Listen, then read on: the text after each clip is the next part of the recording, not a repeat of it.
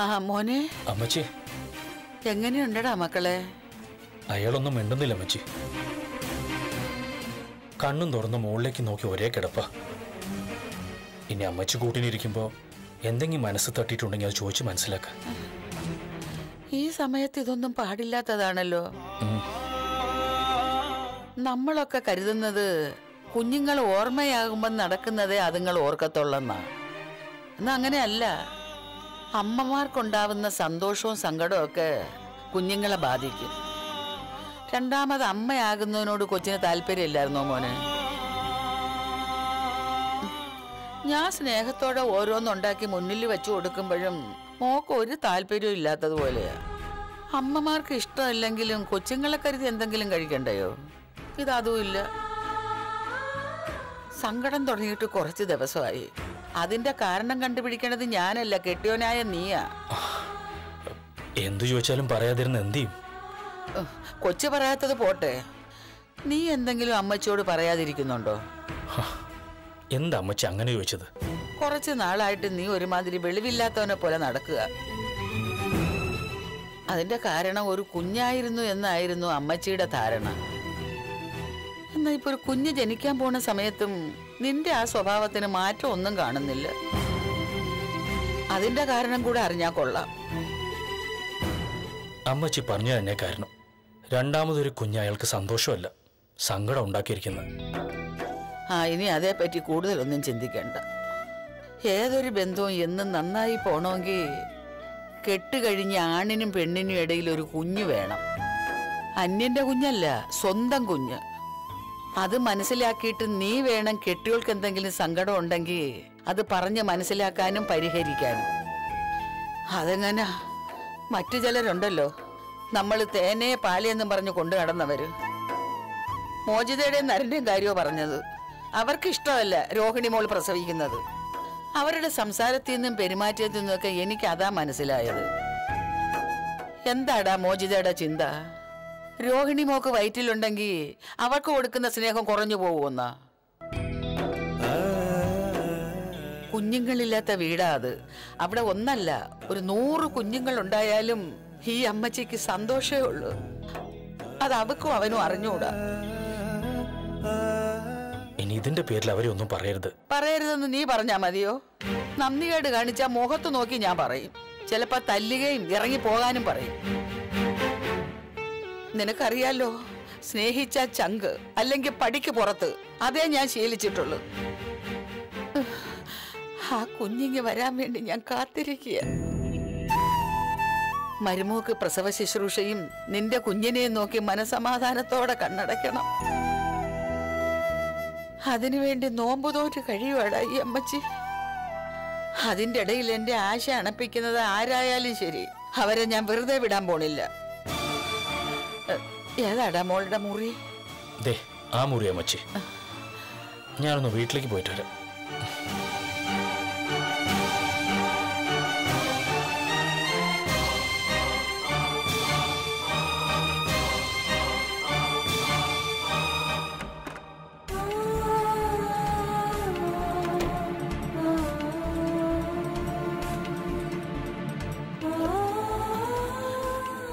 എന്താ മോളെ പറ്റിയത്? ഈ സമയത്ത് ഇങ്ങനെയൊക്കെ വരും. അതിന് പേടിക്കേണ്ട കാര്യമുണ്ടോ? മോക്ക് എന്ത് വേദനയുണ്ടെങ്കിലും അമ്മച്ചിയോട് പറയാം. ഒന്നും ഉള്ളിൽ ഒതുക്കിക്കൊണ്ട് നടക്കരുത്. ഒരു തൻ ചത്തുപോയില്ലയോ ആ സാത്താന്റെ സന്തതി തലയ്ക്ക് മോളിൽ തന്നെ ഉണ്ട്. അവനായിരിക്കും ശല്യം ചെയ്യുന്നതൊക്കെ. അന്നേ കർമ്മങ്ങളൊക്കെ ചെയ്യേണ്ടതായിരുന്നു.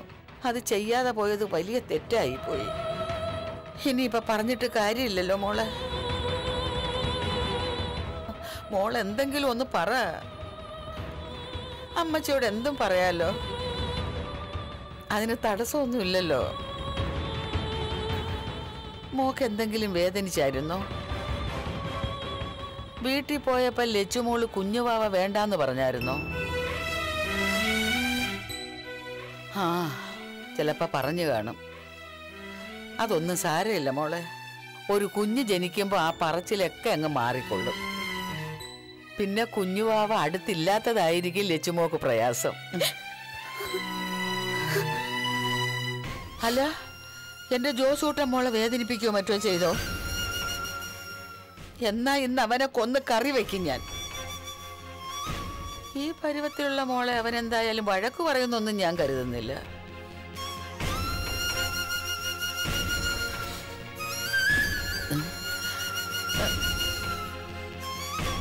എന്തോ ഭയന്നിട്ടുണ്ട് കൊച്ച്.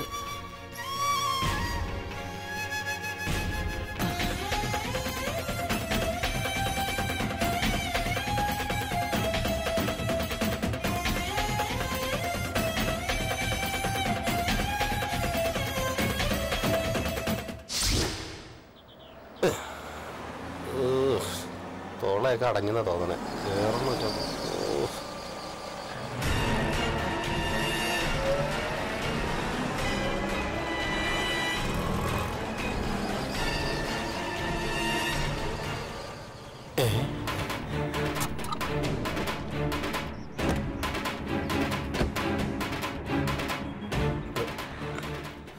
അയ്യോ ഞാൻ അങ്ങോട്ട് വരാൻ നിൽക്കുകയായിരുന്നു. അപ്പോഴാണ് സാറ് ഇങ്ങോട്ട് വന്നത്. നീ രോഹിണിയോട് എന്തെങ്കിലും പറഞ്ഞായിരുന്നോടാ? അയ്യോ ഞാനൊന്നും പറഞ്ഞിട്ടില്ല സാറേ. പിടിവിട് പിടിവിട്. നിന്റെ നാവ് ഇന്നേ രോഹിണി എന്തെങ്കിലും അറിയൂ? ഓ സാർ എന്നെ വെറുതെ പ്രതിയാക്കേണ്ട കാര്യമുണ്ടോ? ആര് സത്യം പറഞ്ഞാലും ഞാൻ പറയാൻ പോകുന്നില്ല. എനിക്ക് കാശ് കിട്ടുന്ന കാര്യമല്ലേ? ഞാൻ പറയോ? ഞാൻ എന്നെ തന്നെ പാര വെക്കോ നീ അങ്ങനെയൊക്കെ ചെയ്യുന്നവനാ. ഇതിനു മുമ്പ് രോഹിണിയോട് നീ എങ്ങും തൊടാതെ പലതും പറഞ്ഞിട്ടുണ്ട്. അതൊന്നും ഞാൻ അറിഞ്ഞില്ല എന്ന് കരുതണ്ട. ഹൈ എന്ന് കരുതി എന്റെ നാവിൽ നിന്ന് സത്യങ്ങൾ അറിഞ്ഞെന്ന് സാറിന് രോഹിണിയെ കൊണ്ട് പറയിക്കാൻ പറ്റുമോ നീ രണ്ടും കേട്ട രീതിയിൽ സംസാരിച്ചാൽ മതിയല്ലോ. അതേ ആൾക്കാർ എന്തെങ്കിലും പിടിച്ചെടുക്കും. അങ്ങനെ ഒന്നും പിടിച്ചെടുക്കില്ല സാറേ. എന്ന് വെച്ചാൽ അതിവിദഗ്ധമായിട്ടാണ് ഞാൻ സാറിന്റെ കെട്ടിയോളുമായിട്ട് സംസാരിച്ചിട്ടുള്ളത്. അല്ല കെട്ടുള്ള പോലെ അറിഞ്ഞായിരുന്നോ? എന്റെ വയറ്റത്ത് അടിച്ചായിരുന്ന? അതിനുള്ള സാധ്യതയൊക്കെ ഉണ്ട്. ഒന്നും പറ്റാനില്ല. രോഹിണി ഇപ്പൊ ഹോസ്പിറ്റലില്ല? ടൂറിന് പോയി വന്നിട്ട് ഒരു മാസമല്ലേ ഉള്ളൂ. അതിനു മുമ്പ് പ്രസവിച്ച? പ്രസവ വേദനക്കളും വേദന നിന്ന് കിടക്കപ്പോ സാറിന്റെ കുഞ്ഞല്ലേ ആ കൊച്ചിന്റെ വയറ്റിനകത്ത്? അപ്പൊ മുടിഞ്ഞ ശല്യമായിരിക്കും. അതേടാ ആ ശല്യം ഇപ്പൊ അവസാനിക്കാൻ പോവാ. നിന്റെ വിലപേശലും. എന്തു പറ്റി സാറേ? അങ്ങനെയാ കാര്യങ്ങളുടെ പോക്ക്. മറ്റേ കാര്യം എന്തായി? ആ ലോണിന്റെ കാര്യം. ആദ്യം എന്റെ കാര്യം ശരിയാവട്ടെ. അപ്പൊ എന്റെ ഓട്ടോയുടെ കാര്യം? നിനക്ക് ഓട്ടോ അല്ല ആംബുലൻസിൽ പോകാനുള്ള സൗകര്യം ഒരുക്കി തരാം. എന്റെ കാര്യങ്ങൾ കൈവിട്ട് പോവാണെങ്കിൽ എനിക്ക് നഷ്ടപ്പെടാനൊന്നുമില്ല. മാന്യമായിട്ടാണെങ്കിൽ അങ്ങനെ. ഇല്ലെങ്കിലേ എന്ത് ചെയ്യണമെന്ന് എനിക്കറിയാം. എനിക്കിനി ഓട്ടോയും വേണ്ട ആംബുലൻസും വേണ്ട. എനിക്ക് ട്രൂപ്പ് മതി. നാടക ട്രൂപ്പ് അതിന്റെ ഓണർ സാറ്. ലാഭം കിട്ടുകയാണെങ്കിൽ എനിക്ക്. നഷ്ടമാണെങ്കിൽ സഹിക്കാം. ഞാനല്ല അതും സാറ് നല്ല ഗ്ലാമറൊക്കെയാണല്ല സാറിന്റെ കഥയാണ് നാടകം. നായകനായിക്കോ അതേടാ. എന്റെ ജീവിതം ഇപ്പൊ നാടകമാ ഇപ്പൊ ആ നാടകത്തിന്റെ ക്ലൈമാക്സിലേക്കാ പോക്ക്. അവസാനത്തിലേക്ക് അടുക്കുമ്പോ എല്ലാത്തിനും നിമിത്തമായത് നീയാണെങ്കിൽ ക്ലൈമാക്സിൽ മരിക്കുന്നവരുടെ കൂട്ടത്തിൽ നീയും ഉണ്ടാവും. അതെന്തെങ്കിലും ആവട്ടെ സാറേ ഒരു രണ്ടായിരം രൂപ പോടാ സാറേ പോലെ സാറേ രണ്ടായിരം. താ അമ്മ. താ സാറേ. സാറേ രണ്ടായിരം രൂപ തന്നിട്ട് പോ സാറേ. സാറേ രണ്ടായിരം രൂപ ഒറ്റ നോട്ടല്ലേ സാറേ? എടുക്കാൻ പ്രയാസമില്ലല്ല. ദാ, പോലെ സാറേ. സാറേ രണ്ടായിരം. കഷണ്ടിക്ക് അഹങ്കാരം കൂടിയെന്നാ തോന്നണേ. എന്നാലും ഒരു മാസം കൊണ്ട് ഗർഭോ? വല്ല ദിവ്യ ഗർഭമാണെന്നാ തോന്നണേ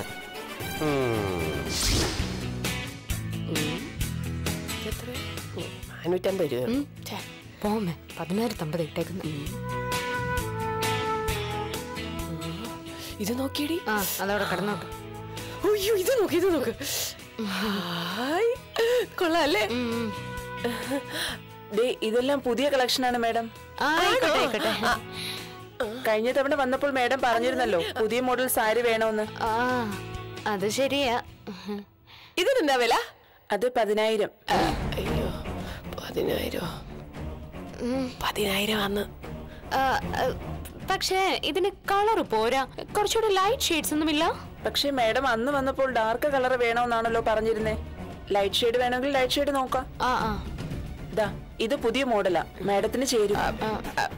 ഇത് കൊള്ളൂല. ഇത് വേണ്ട. വേറെ വേറെ വേറെ. അത് ആക്ച്വലി ഇപ്പൊ ഭയങ്കര ചൂടല്ലേ? ലൈറ്റ് ഷെയ്ഡ് കുഴപ്പമില്ല മാഡം അല്ല അതല്ല പുറത്തോട്ട് ഇറങ്ങുമ്പോ ഡാർക്ക് കളേഴ്സ് ഒക്കെ ഇട്ടാ ഭയങ്കരമായിട്ട് ചൂട് വരും. അല്ലെ പിന്നെ സൂര്യനോട് പറ ചൂട് കുറച്ച് തരാൻ ലൈറ്റ് കളർ വേറെ ഉണ്ട് മാഡം ആ.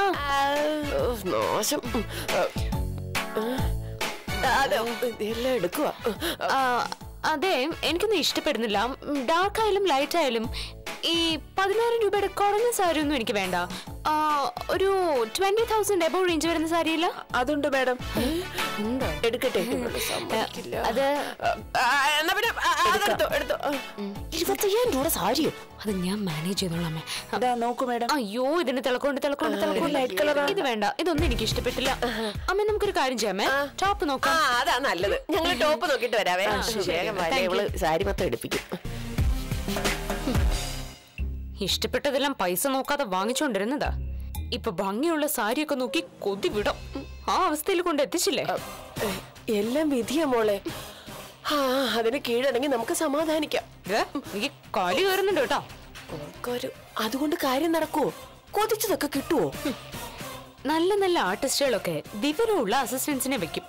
നിങ്ങളെ പോലുള്ള അമ്മമാരെയൊക്കെ കൂട്ടുപിടിച്ച അതോ ഗതിയാ അതെ ഈ സീരിയലിൽ അഭിനയിക്കാനും നാലാൾ അറിയുന്ന ഒരു നടിയാകാനും കാരണക്കാരി ഞാനാ. അതെ അമ്മ തന്നെ ഉണ്ടാക്കിയതെല്ലാം ആറ്റിലെറിഞ്ഞില്ലേ പണം വരും പോകും. അതുപോലല്ലോ അമ്മ മകൾ ബന്ധം. ഇതിപ്പോ അതിനേക്കാൾ മോശമാ. അതെ ചുരിദാർ നോക്കാം. വാ വാ വാ. ഉം, നാഗതയുള്ളു വാങ്ങിക്കാൻ പൈസ വേണ്ടേ? ഇടിമോളെ നോക്കി വെക്കാം. പൈസ കിട്ടുമ്പോ വാങ്ങിക്കാലോ. വാ. ഇത് നോക്കി എടുക്കാൻ പറ്റുന്നില്ല. എന്നാ വേണ്ട. ആ. മോളെ ഇത് നോക്കിയേ. എനിക്ക് ചേരത്തില്ലേ? അവിടെ കൊണ്ടിടമ്മേ വേണ്ട. ആ ഇത് നിനക്ക് നന്നായിട്ട് ചേരും. ചോദിച്ചില്ല. ഇതും ഇഷ്ടപ്പെട്ടില്ലേ? ചേടാ? ഇതെന്താ? അത് കൊള്ളാല്ലേ ഹും. തമിഴ് സിനിമയിൽ അഭിനയിക്കാൻ ചാൻസ് കിട്ടിയിട്ട് നായിക നടിയുമായിട്ട് വഴക്കിട്ടിട്ട് പോന്നു. സംവിധായകനെ ചീത്ത വിളിക്കുകയും ചെയ്തു. ബാക്കിയുള്ള കാശ് പോലും കിട്ടിയില്ല. ഇതുവരെ മോനം വിറ്റ് ജീവിച്ചിട്ടില്ല. ആ അവസ്ഥ വന്ന പിന്നെ എന്ത് ചെയ്യണം? അവനൊക്കെ തോരാട്ട് പാടണോ? അതൊക്കെ എന്റെ മോളെ ഇതിനൊക്കെ ഒരു നയമുണ്ട്.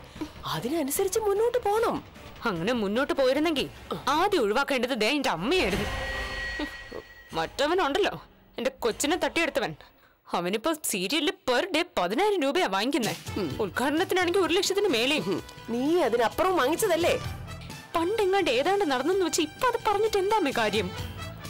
അണയാൻ പോകുന്ന ദീപം ആളിക്കത്തും. അവന്റെ പോക്കാതാ എന്നെ കുറിച്ച് എല്ലാവരും പറഞ്ഞതായിരിക്കും എന്നിട്ടത് സത്യമായല്ലോ. ആണെന്നില്ലേ ഇത് നോക്കി ഇത് കൊള്ളാം. അയ്യോ കൈ ഉരുക്കി എടുത്തോ. ഈശ്വരാ.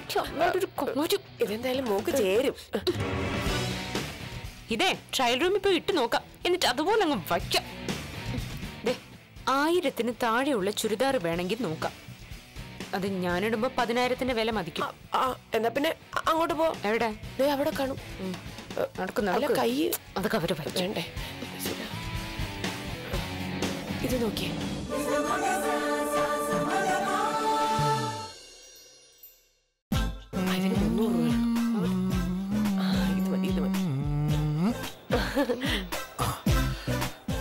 കുമാരി നയനയല്ലേ? അതെ. അല്ല ഇപ്പൊ സീരിയലൊന്നും ഇല്ലേ? ഒന്നിലും കാണുന്നില്ല. അയ്യോ. സീരിയൽ കാണാത്തതുകൊണ്ട് വിഷമായെങ്കിലേ നീ ഒരു സീരിയൽ പിടിക്ക്. എന്നിട്ട് എന്റെ മോളെ നായികയാക്ക്. അപ്പൊ കൺകുളിർക്ക് കാണാലോ. ആ അതെ. ഞങ്ങൾ ഒരു ഹിന്ദി സിനിമയിൽ നായികയായിട്ട് അഭിനയിച്ചോണ്ടിരിക്കുക. സൽമാൻ ഖാനാ നായകൻ. ആ? ഐശ്വര്യ റായിയെ മറ്റോ ആയിരുന്നു വെച്ചിരുന്നത് പക്ഷെ മോളെ അവളെ കൂടെ വെച്ച് നോക്കി കഴിഞ്ഞപ്പം ഏതാണ്ടൊക്കെ ഒരുപോലെയൊക്കെയാണെന്ന് അവർക്ക് തോന്നിയത്. പിന്നെ മോൾക്കാവുമ്പം അവളുടെ അത്ര റേറ്റ് കൊടുക്കണ്ടല്ലോ. പിന്നെ ഇഷ്ടം പോലെ ഡേറ്റും ഉണ്ട്. അതുകൊണ്ട് അങ്ങ് ഫിക്സ് ചെയ്തു. ഞങ്ങളങ്ങ് വാക്ക് കൊടുത്തു. അല്ല ഇത് സൽമാൻ ഖാൻ അറിഞ്ഞോ? പിന്നെ അറിയാതെ? നീ മാത്രമുള്ള അറിയാത്തത്. ഇപ്പൊ അറിഞ്ഞല്ലോ? വണ്ടി വിട്. വാ മോളെ. ഓ ഈ തള്ളു കാരണം തന്നെ രക്ഷപ്പെടാത്തത്. ഇനിയിപ്പം മറ്റവനോടുള്ള അസൂയും കുശുമ്പും കൊണ്ടുനടന്നിട്ട് കാര്യമില്ലമ്മേ. എത്രയും പെട്ടെന്ന് ഒരു സീരിയൽ ചെയ്യണം അങ്ങനെ നല്ല നല്ല കാര്യങ്ങൾ ചിന്തിക്കും.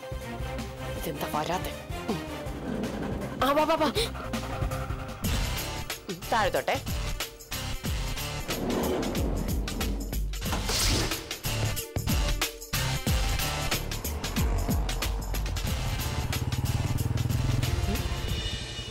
പരിചയമില്ലാത്ത ഒരാൾ വരുന്നുണ്ടമ്മേ. ആര്? അമ്മയുടെ മോൻ.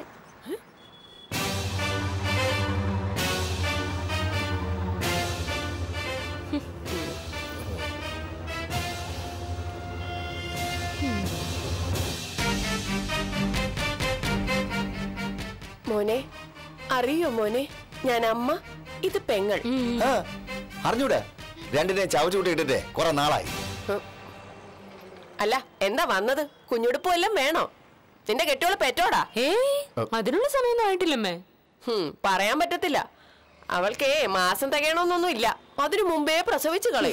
വാക്കത്തി നരന്റെ കുഞ്ഞല്ലേ? അതാ എനം അയ്യോ ആ പേരൊക്കെ പോയി. നിങ്ങളുമായിട്ടുള്ള ബന്ധം വിട്ടതിന് ശേഷം പ്രത്യേകിച്ചും. അതിനുശേഷം ശരിക്കും രക്ഷപ്പെട്ടതേ ഞങ്ങളാ. ഇപ്പതേ ഒരു തലവേദനയില്ല ആരുടെയും ശല്യവും ഇല്ല നമ്മളങ്ങ് അടിച്ചു പൊളിച്ചങ്ങ് പോവാ അല്ലേ അമ്മേ? അതെ അതെ അതെ. ദേ, ഇപ്പൊ തന്നെ കണ്ടോ? പത്തെഴുപത്തയ്യായിരം രൂപയുടെ ഡ്രസ്സുകളല്ലേ വാങ്ങിയത്? ആ, ഞങ്ങൾ സെലക്ട് ചെയ്ത് ബിൽ പേ ചെയ്താൽ മതി. സാധനങ്ങളൊക്കെ വീട്ടിലെത്തിക്കും. ഞങ്ങൾ you know celebrities V I P വെറുതെ പെട്ടെന്നാണ് അല്ല സീരിയലിൽ വി ഐ പിയുടെ മുഖമൊന്നും കാണണല്ലോ അതുകൊണ്ടാ. അത് പിന്നെ ഏയ് സീരിയലോ? അതിൽ ചില ഗുണ്ടകളൊക്കെ വേഷം ചെയ്ത് തുടങ്ങിയ പിന്നെ ഞങ്ങൾ അതങ്ങ് വിട്ടു. ഇപ്പോ ഒരു തമിഴ് സിനിമ കഴിഞ്ഞതേ ഉള്ളൂ. അത് പുറത്തിറങ്ങോ ഇല്ലടാ പുറത്തിറങ്ങത്തില്ല. അകത്ത് തന്നെയാ. വീട്ടിൽ പോയി നിന്റെ അച്ഛനോട് പറ. കുറച്ച് പണം മുടക്കി അത് പുറത്തിറക്കാൻ. ആ മണ്ടൻ ജഗ്ഗുവിന്റെ കയ്യിൽ ഇഷ്ടം പോലെ കാശുണ്ടല്ലോ. അയാൾ അയാളുടെ തറവാട്ടിന്റെ പുറകിൽ നിന്ന് നിധി തോണ്ടി എടുത്തിട്ടുണ്ടല്ലോ. നിധി കിട്ടിയതിനേക്കാളും സന്തോഷത്തിലാ അച്ഛനിപ്പോ. രണ്ട് വിഷപ്പാമ്പുകളെ വീട് വിട്ടു പോയ സന്തോഷത്തിലാ. നോക്കിക്കോടാ. അങ്ങേര് പുഴുത്ത് നാറുമ്പം നോക്കാൻ ആരും കാണത്തില്ല. അങ്ങനെ ഒരു വിധി അച്ഛനുണ്ടായാലേ നോക്കാൻ ഒരുപാട് ആൾക്കാരുണ്ടാവും. രക്തബന്ധത്തിലുള്ളവരും അല്ലാത്തവരും. പിന്നെ? എന്നാലേ അതേ വിധി നിങ്ങൾക്കുണ്ടാകുമ്പോഴേ ഈ മോൾ പോലും നിങ്ങളുടെ അരികിൽ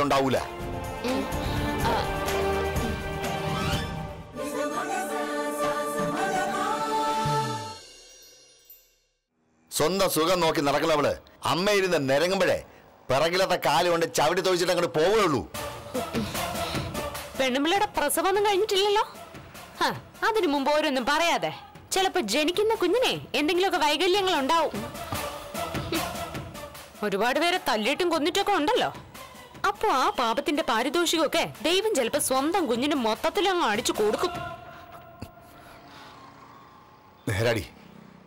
ഞാൻ പാപങ്ങൾ ചെയ്തിട്ടുണ്ടെങ്കിൽ അതിന് തുറക്കോട്ടത് തടം ഈ സ്ത്രീയാ. പിന്നെ നീയും. മോചിതയെ പോലെ നല്ല മനസ്സുള്ള ഒരു പെണ്ണിനെ നല്ല കുഞ്ഞുങ്ങളെ ജനിക്കുള്ളൂ. അയ്യാ. ആ ജനിക്കട്ടെ ജനിക്കട്ടെ. എന്നിട്ട് പറയാം. ജനിച്ചതിന് ശേഷം എവിടെയാണെന്ന് വെച്ചാ ഞാൻ അവളെയും കുഞ്ഞിനെയും കൂടി അങ്ങോട്ട് വരാം. എന്നിട്ട് നമുക്ക് നോക്കാം എവിടെ വൃത്തിയോടെ നാക്കിന് എത്രത്തോളം സത്യം ഉണ്ടെന്ന്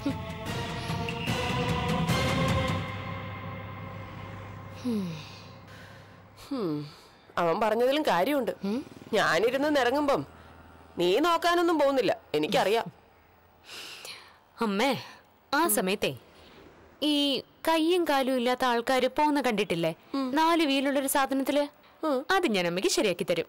അപ്പൊ അമ്മ ഇരുന്ന് നിരങ്ങണ്ട ഇരുന്നിട്ട് ഉരുട്ടിയാ മതി.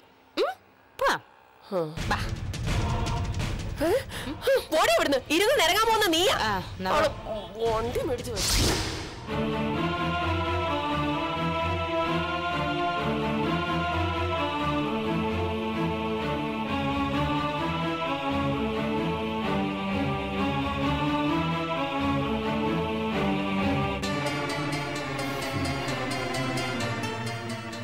നന്ദന്റെ വീട്ടുകാരെ അറിയിക്കാതിരുന്നിട്ട് കാര്യമൊന്നുമില്ല.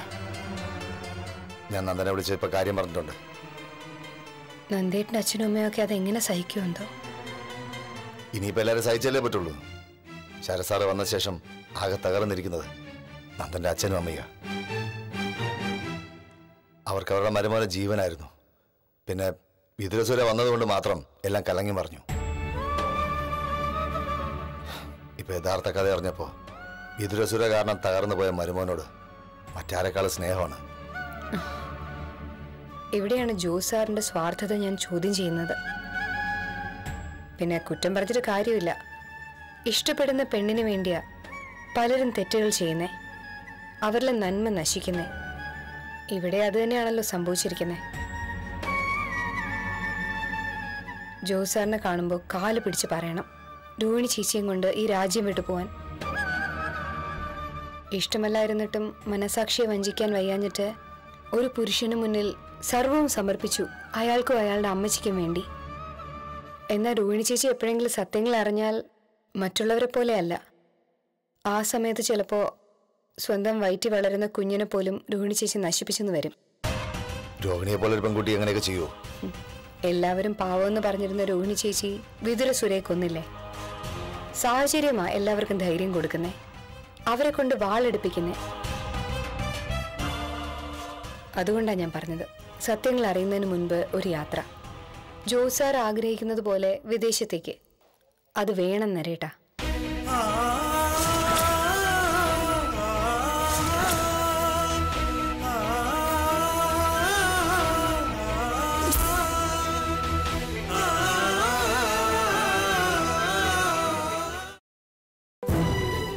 രോഹിണിയെ കണ്ടിട്ടുണ്ടെങ്കിൽ കാണാം.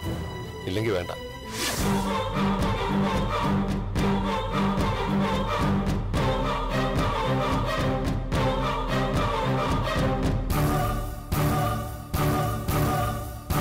ഇതിപ്പോ വയറ്റിനകത്തൊരു കുഞ്ഞുള്ളതിന്റെ തളർച്ച മാത്രമല്ല മറ്റെന്തൊക്കെയോ പ്രശ്നങ്ങളുണ്ട് മോക്ക്.